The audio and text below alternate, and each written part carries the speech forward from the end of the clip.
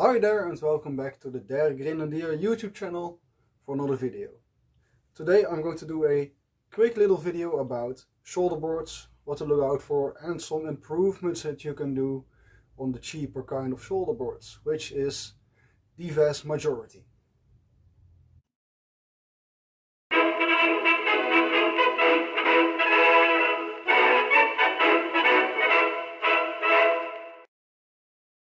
So these are shoulder boards that I own. Some of them have been used, some of them have not been used, some of them have been aged, some of them have not been aged.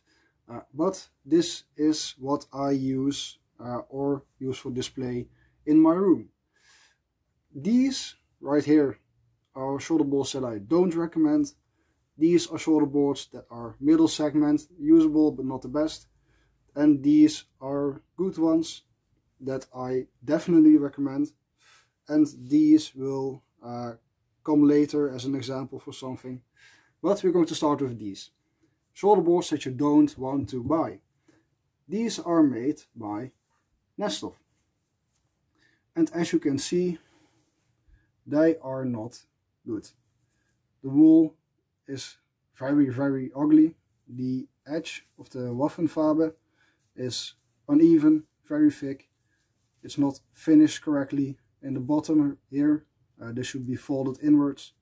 They reinforced the back here with black canvas on the edge because the wool is of such bad quality that it's not strong enough for shoulder boards. Um, which makes it very, very bad. The canvas is also very ugly. Um, don't buy shoulder boards from Nestov. Uh, for, um, in the same category we've also got these made by Schusters. Um, these came with my uniform. I love my uniform. I like Schusters uniforms, but their shoulder boards are not of the best quality. Again, the edge is not finished very nicely. Uh, it's better than Nestov, but it's definitely not the best. These are not good enough. What is good enough? I would say it starts with Gavin, as per usual. Uh, Gavin is very good at uh, not the best quality stuff, but cheap stuff. So they don't cost that much and you will see that in their products. Uh, but they are mostly usable most of the time. They use wool that is maybe not the most beautiful, but it ages reasonably good uh, for the most part, especially in their newest products. Uh, they have the correct sewn in edges um, the rayon is reasonably well finished and it ages more or less like you would want to. The only problem they have, or only, uh, the problem that they have is that their edges fray as with their uniforms, which is not the worst thing you can just cut the fraying edges off, but it is something that you might want to know. These are also made by Gavin.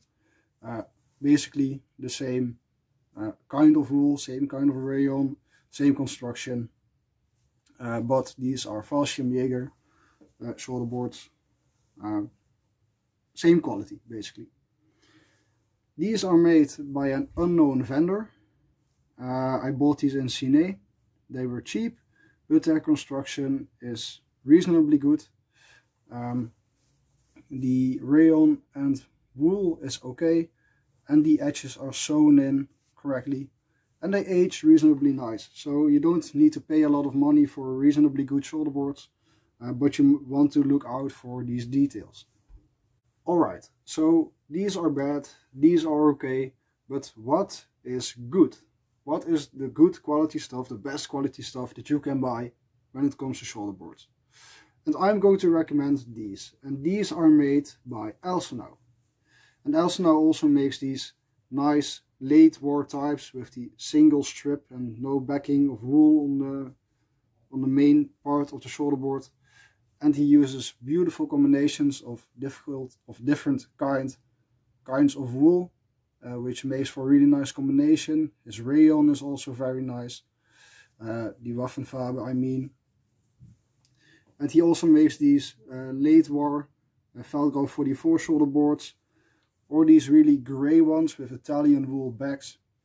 Um, again, the Waffenfarbe, very beautiful. And these are great, these are beautiful, I like these a lot. I want more of these, but they are expensive. They cost uh, 30 euros per pair when I bought them, which is uh, years ago. Uh, so you might not want to pay that kind of money, then this is also fine if you don't want to be the top tier of your reenactor. But these are very, very nice.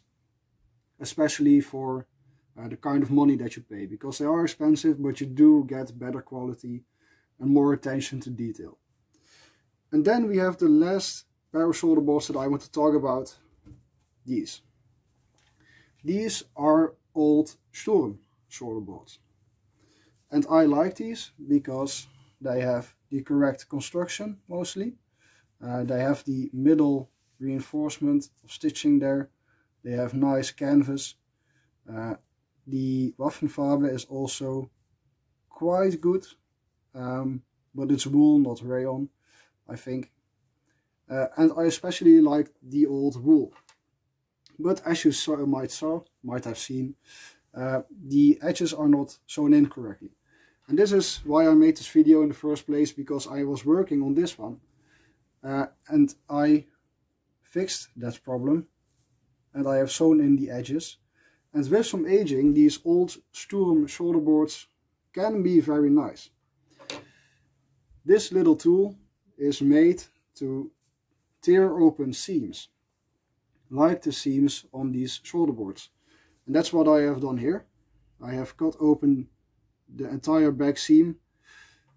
I tucked in the uh, Waffenfarbe and then I restitched this with my sewing machine and that was my project for today. And that inspired me to make this video. Because you have bad shoulder boards, you have reasonably good shoulder boards, you have very good shoulder boards, and then you have the old stuff or shoulder boards that are okay, but they have some flaws. Uh, and you can fix these flaws uh, if you are quite handy with a sewing machine or you know how to properly age stuff. So that's what I want to give you uh, tell you today. Be prepared to put some effort in, put some research in, uh, learn some new things, learn some new techniques, and you can improve your stuff very, very well. So, that's all I have for you for now. Uh, I thought it was important to make this video because the shoulder boards are usually the first thing you change out or alter on your uniform when you buy a new one. Uh, it's something that we all recognize, I think. Uh, improving stuff like this is very important.